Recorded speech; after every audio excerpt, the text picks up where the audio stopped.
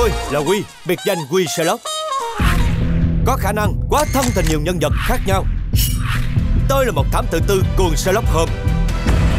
Lâm Tiger chính là sư phụ của tôi. Sở thích của ông là đánh cờ vua một mình. Ông là một bậc thầy về múa lược. Với ông, cuộc cờ chính là cuộc đời. Muốn bắt được cọp con Phải vào tận hang cọp. Trang Silicon, trợ lý của tôi một cô gái quyến rũ, đam mê công nghệ và võ công cao cường. Chúng tôi là biệt đội thám tử chuyên điều tra án tình. Vì tình yêu là nơi ẩn chứa những bí mật.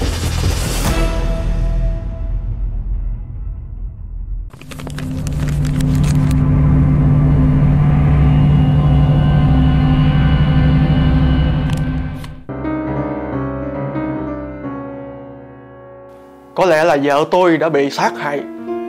Chứ không phải là tự tử. Như mọi người tưởng tượng. Ngày mai á Là đúng 100 ngày của Hương.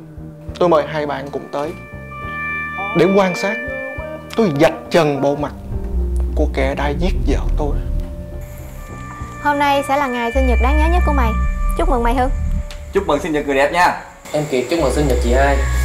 Dì Bảy chúc mừng sinh nhật con. Anh đã quyết định làm vụ này một mình sao? Đúng vậy Chỉ một chút nữa thôi. Kẻ giết vợ tôi Sẽ bị vạch mặt. Quang à. Quang Quang à. Quang Quang. Quang. Cậu ơi. Sao vậy? Quang. Ơi. Quang sao vậy? Cậu ơi. Quang ơi. Mọi người Đừng lấy vào phòng. Con đi vô phòng. Kêu bác sĩ đi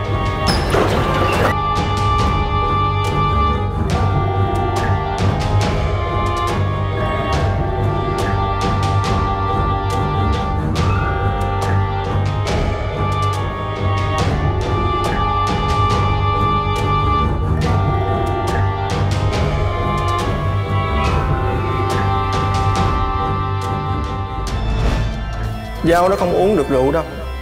Con nhờ dì Bảy vô lấy cho con một ly nước.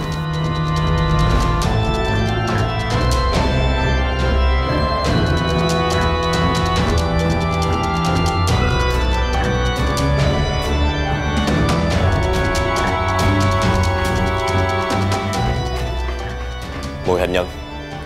Chất cyanua Vậy là tội ác đã được lặp lại. Quang đã bị đầu độc Giống như Hương bị đầu độc 100 ngày trước. Trời ơi! Vậy là tụi nó bị giết chết thiệt sao? Bây giờ phải làm sao? Quang ơi! Tôi nghĩ là Quang đã chết theo vợ của mình. Hương ơi! Hai người tự giải quyết với nhau đi. Vợ chồng tôi á không có liên quan vụ này. Mình về thôi anh. Đứng lại! Cháu tôi đã bị giết chết trong đêm sinh nhật của nó Hôm nay là 100 ngày của nó. Chồng nó cũng bị giết chết. Tôi muốn nhờ cô cậu tìm ra thủ phạm ngay bây giờ. Còn mấy người Không ai được bước ra khỏi đây Nửa bước. Dì chỉ là người làm công thôi. Dì không có quyền ra lệnh cho chúng tôi. Ủa có tật thì giật mình hả? Kể từ ngày hôm nay Tôi thay mặt bé Giao làm chủ căn nhà này Tôi muốn nhờ cậu. Cậu có thể giải quyết vụ án này trong ngày hôm nay được không? Chắc chắn. Bây giờ tôi muốn gặp riêng cậu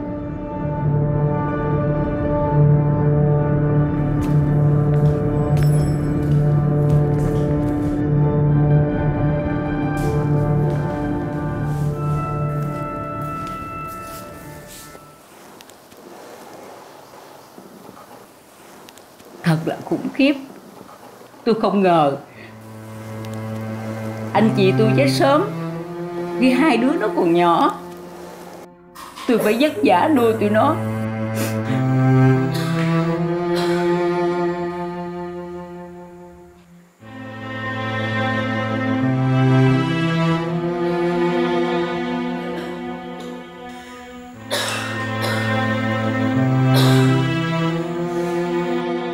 Quỳnh Hương á thì đi lấy chồng rồi.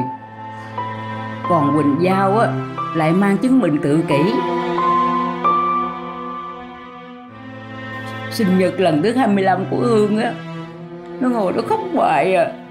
Tôi không biết tại sao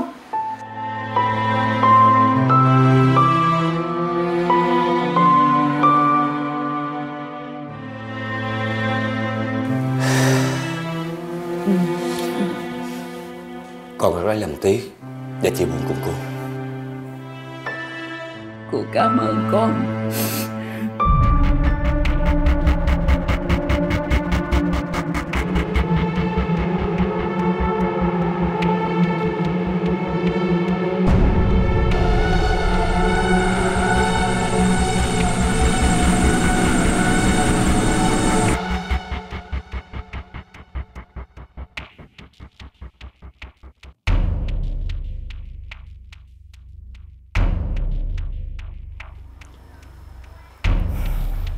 Trời hôm nay có vẻ không đẹp lắm. Tôi muốn hít thở không khí một chút. Cũng không được sao. Không lẽ cứ ngồi trong cái căn nhà mà có xác chết đó? Sao cô lại tỏ ra sợ sệt vậy?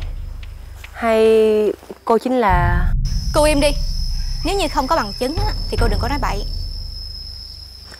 Tôi đã nói gì đâu.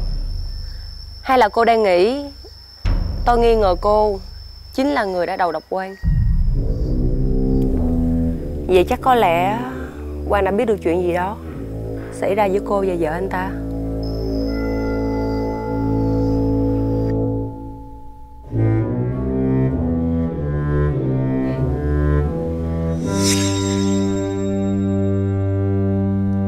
Mẹ, Con đã đưa bé Giao vào phòng rồi.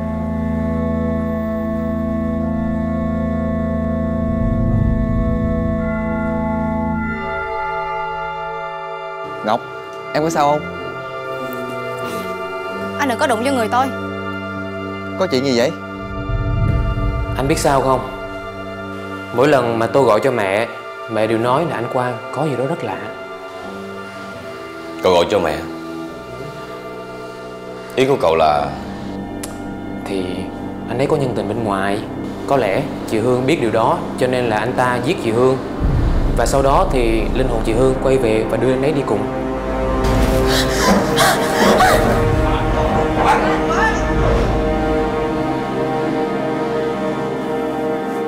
Cậu là một người tin vào điều tâm linh. Không thể phủ nhận điều đó mà. Các người đã phản bội tôi. Anh Và cô ta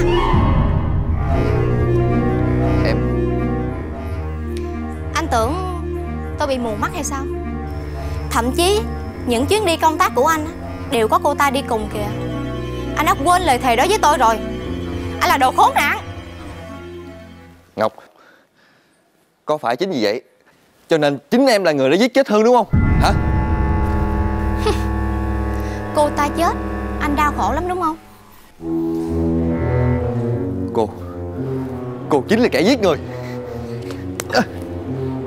Anh im đi. Anh quyến luyến Hương Nhưng cô ta đã rũ bỏ anh. Cho nên anh giết cô ta. Quang đã biết điều đó. Cho nên hẹn chúng ta đến đây Để dạch mặt anh đó. Nhưng không ngờ Là anh biết điều đó.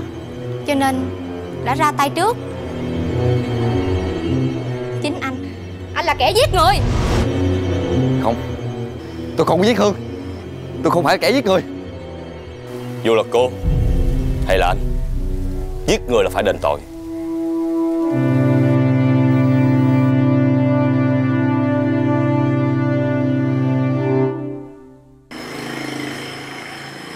Người có động cơ giết Hương vì tiền là quan Cũng đã chết.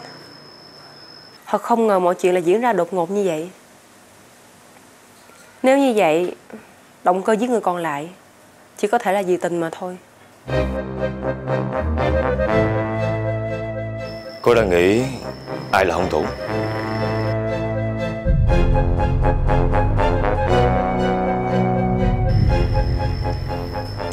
Ngọc rất là điềm tĩnh, Nhưng tôi sợ máu ghen tuông của cô ta. Nhìn cô ta, Tôi cứ nghĩ đến mấy bà quảng thư ngày xưa vậy.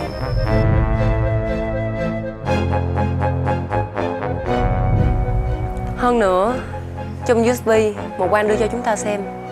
Camera có ghi lại. Cách nhìn của Ngọc đối với Hương. Đầy sự đe dọa.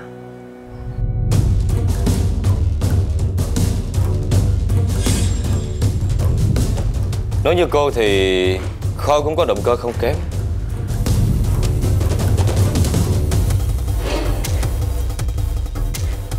Nếu cô tiết lộ chuyện của chúng ta cho người khác biết Thì đừng có trách tôi. Tôi không để yên cho cô đâu. Vấn đề tôi đang quan tâm là Liệu hung thủ là một hay là hai? Là ai trong số họ?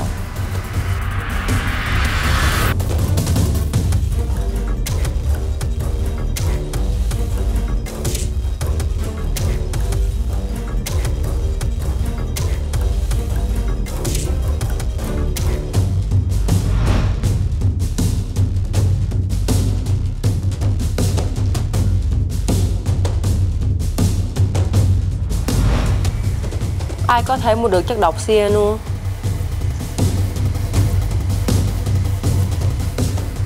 Cô chỉ cần ra chợ đen thì lúc nào cũng có. Nhưng tôi nghĩ từ đầu đến cuối Cô chỉ nhắm vào động cơ Mà quên đi cách thức thực hiện tội ác Rất là quan trọng. Ý anh là sao? Trong camera mà Quang mang đến hôm qua Cho thấy dì Bảy rất là thương con. Có thể ra tay để con trai mình được thừa hưởng tài sản. Kiệt cũng có thể thực hiện điều đó.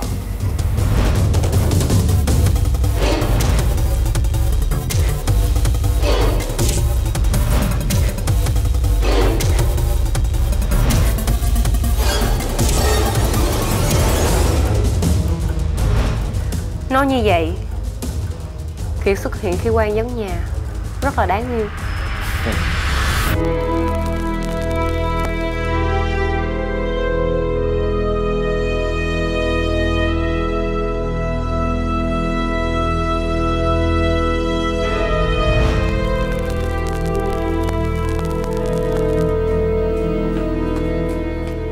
mẹ? Ủa con trai Sao con về mà không cho mẹ biết vậy con? Dạ. Ủa anh quang có nhà không mẹ? Quang nó đi làm rồi con à à, rồi dạo này tình hình nhà mình sao rồi? Từ ngày mà con Hương nó chết tới bây giờ đó con Thằng Quang nó buồn lắm Suốt ngày nó cứ đi ra đi vô không con à. Dạ.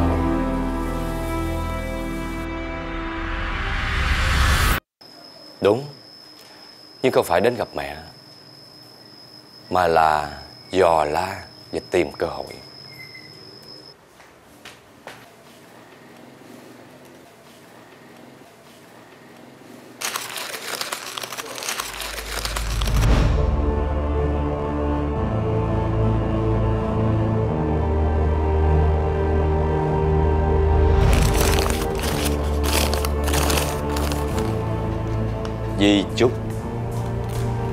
Tài sản được chia làm ba phần. Quan Giao Và diệp Bảy.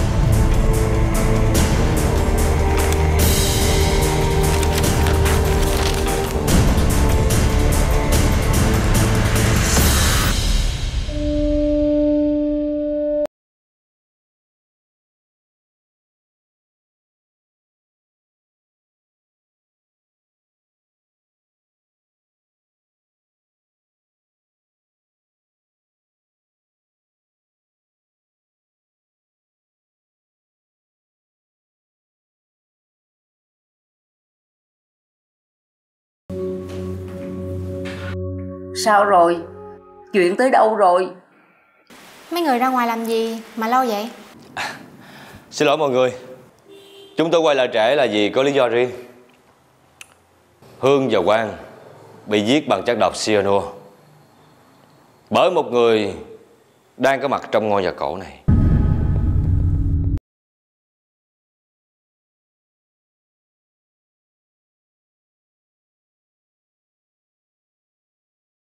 nhưng không ngờ kẻ gây tội ác đã ra tay trước. Trời ơi Thiệt sao hắn là ai? Bây giờ chúng ta hãy hình dung lại buổi tiệc sáng nay Từng vị trí ngồi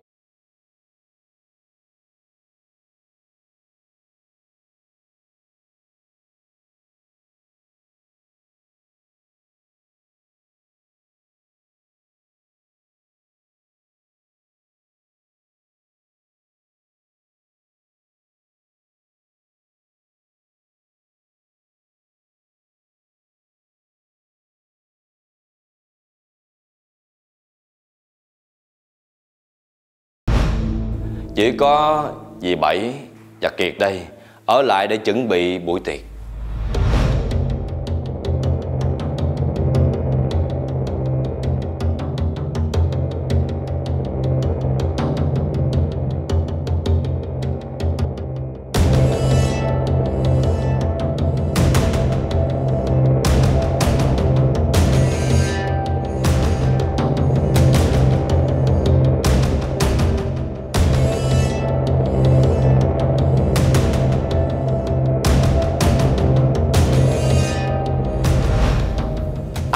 Người đầu tiên trở lại bàn tiệc. Chắc chắn là không phải vợ chồng tôi rồi. Đúng rồi, không phải là tôi. Tôi không biết. Tôi cũng không nhớ. Hình như tôi và Giao. Dì Bảy sai rồi. Đó là Quỳnh Giao. Quỳnh Giao đã trở lại bàn tiệc đầu tiên. Chỉ có điều Giao đã nhầm chỗ. Khi cô bé ngồi xuống Đã kéo bản vẽ về vị trí gần mình.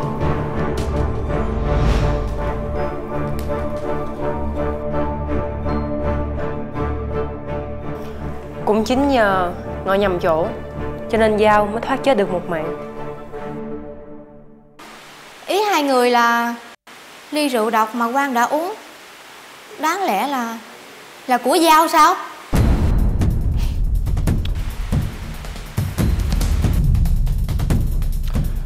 Thực ra Động cơ của hung thủ Đó chính là Thừa kế tài sản.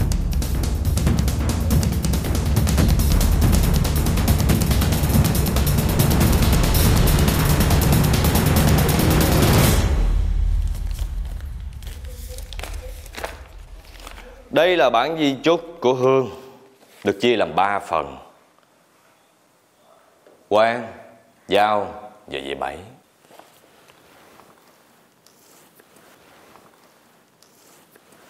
Hương đã chết Sau đó đến Giao cũng chết. Rồi Quang cũng từ từ biến mất. Thì toàn bộ tài sản sẽ được để lại cho người thân. Mà người thân đó chính là Nói là phải có bằng chứng. Bằng chứng hả? Con đừng sợ.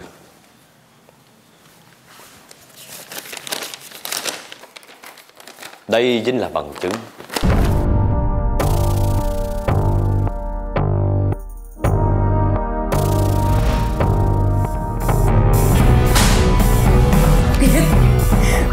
Muốn trốn hả? Cậu tưởng Giao bị tự kỷ, Không nói chuyện được. Cho nên muốn ra tay hãm hại con bé. Rồi chiếm đoạt tài sản. Có đúng không?